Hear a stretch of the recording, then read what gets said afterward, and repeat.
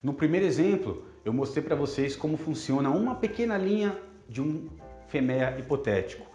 Então, a gente tinha um NPR de 350, que é muito alto, e através de um Pokayoke que a gente instalou na linha, a gente conseguiu reduzir para 70.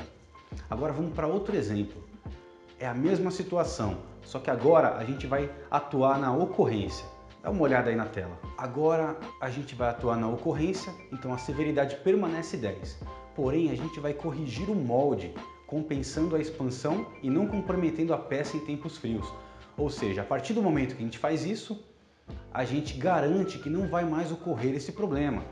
Independente do tempo ser frio ou quente, a peça vai sair sempre dentro do especificado. Dessa forma, a gente tem uma ocorrência 2, mas a severidade permanece 10 e a detecção permanece 5.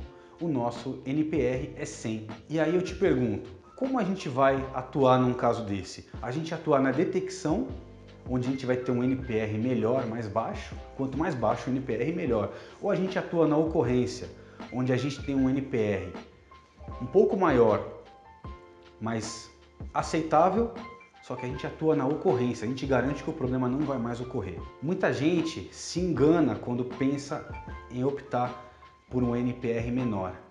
Na verdade, a gente tem que ter um jogo de cintura. A gente tem que entender que é sempre preferível atacar na ocorrência. Porque se eu ataco na detecção, o problema continua ocorrendo. Eu continuo tendo problema. O que eu faço com peças ruins? Eu jogo fora. É dinheiro que vai embora. Ninguém quer perder dinheiro. Você não monta um negócio para perder dinheiro. Você monta um negócio para ganhar dinheiro. Então você tem que atuar na ocorrência. Poxa, mas o meu NPR não vai ficar tão baixo assim. Não tem problema. Ele é um NPR aceitável. Você tem que usar o pensamento de risco. Né? Ele é um NPR aceitável e você garante que o problema não vai mais ocorrer. Ah, mas eu posso de repente tomar as duas medidas, criar um Pokayoke e mexer no molde?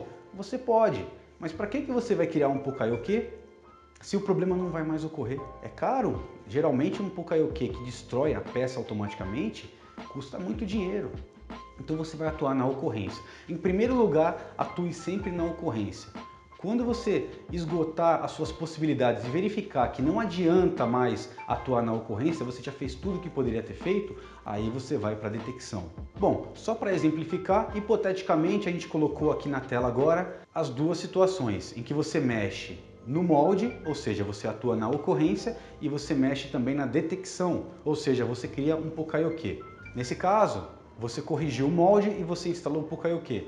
Então a severidade permanece 10, a ocorrência fica 2 e a detecção 1. O seu NPR ficou baixíssimo, você tem 20.